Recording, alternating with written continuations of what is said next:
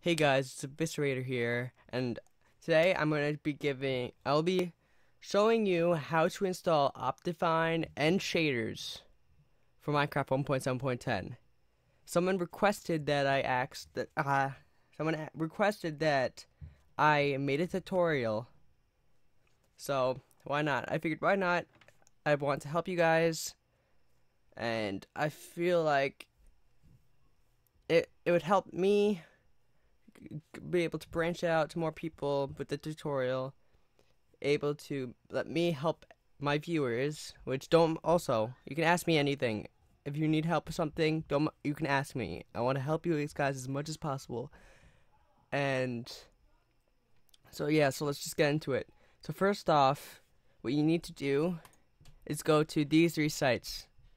I'll put the links in the description. And here you have to download Optifine. What we're going to be downloading is this one right here. This Optifine right here. This one. Optifine 1.7.10 HDU A4. Then when we go, we also have to download the shaders. So you go right here to 1.7.10. The non-Forge version. We're not using Forge this time. So you download this. Just in case. I'm not sure if I downloaded the right one before and you go here and this is where you download the shaders. You could use any shaders whatsoever. For this it should work for any shaders but someone requested I help them with this one. But with this one it requires a little bit more. My like right now I will be having installed these three ones right here. Just a little bit show off three of them. My my preference is the ultra motion blur that's my favorite. I kind of customized it a bit, increased the wave size for me personally when I personally record, and I increased like some of the effects. Like I have the volumetric clouds and etc. But I'm just gonna use the default ones just to help you with the tutorial. So now that I got this, download that. Go here that. I had the wrong one. Alright, so first off, what you need to do is you have to go right here. Once you install the Optifine 1.7.10 HDUA4 jar, double click it, install, and then once it says it's installed, it's, for, it's done. That's all you have to do. And once it's installed, what Optifine does basically, it it just basically lets your Minecraft run faster and gives you more customization to the graphics and performance. And it helps a lot, trust me. And then what you need to do next, you double click the shaders mod installer. You click yes. And then you click OK, and it's done. So now what you have to do is code run. And you do percent percent ah percent app data percent press OK to dot Minecraft and you have to be in this folder right here. See I have a bunch of folders in here from mods and stuff don't mind all that stuff. What's most important right now is for you to do this. Go to right click go to new folder and name this folder shader packs. And what I want you guys to do or what you need to do is to open that up and drag your shader packs right into the shader packs folder and that should be done.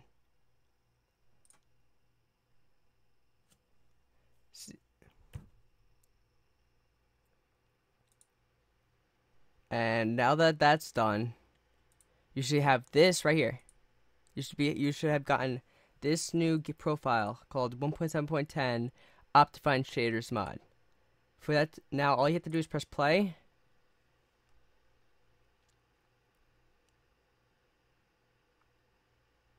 Let it run. Mojang.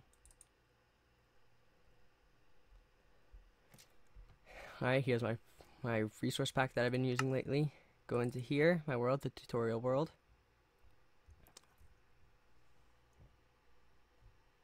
That's, oop, and here you go. See, without shaders, since it automatically went to shaders, this is what it looks like without shaders, see? It's like, ah, uh, it's okay. Decent. Still looks like the boring old Minecraft, which is not very boring in my opinion. Looks okay.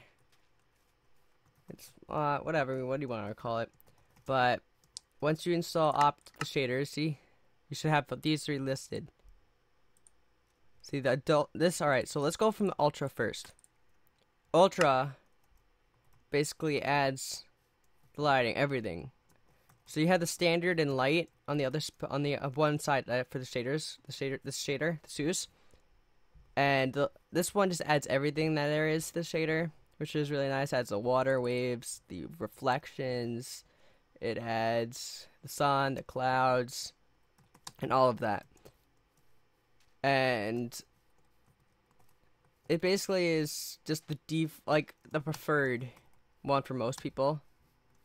In my opinion, most people use this.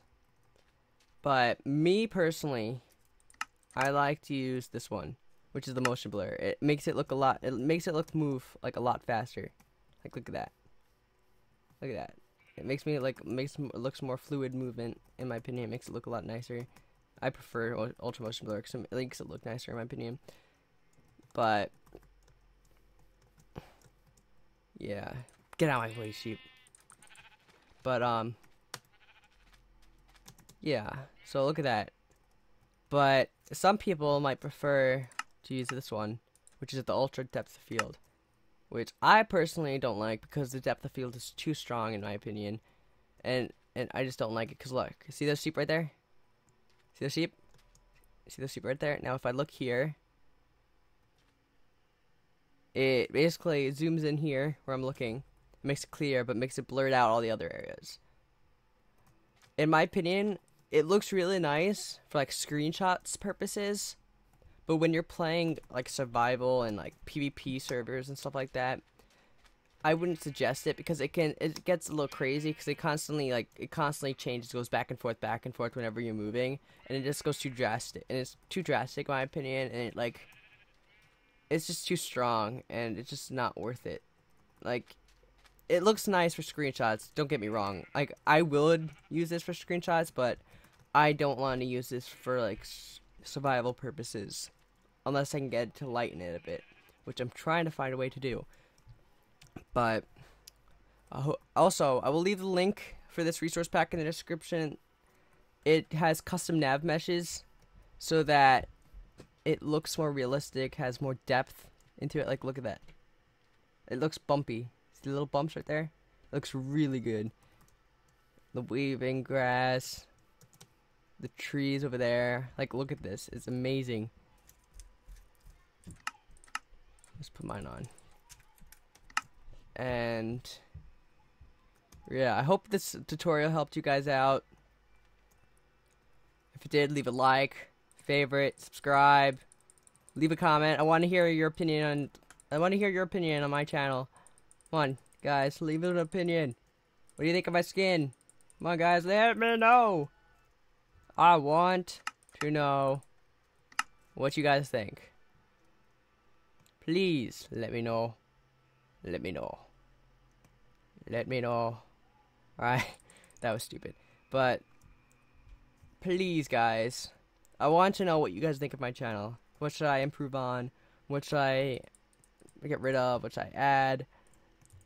Every day, I'm most of my time I'm on my on my computer is spending time trying to improve my channel in my videos, like quality wise, with audio and video. And I just hope it's been put to good use.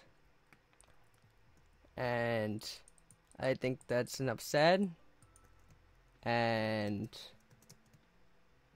peace out. See you guys. Bye.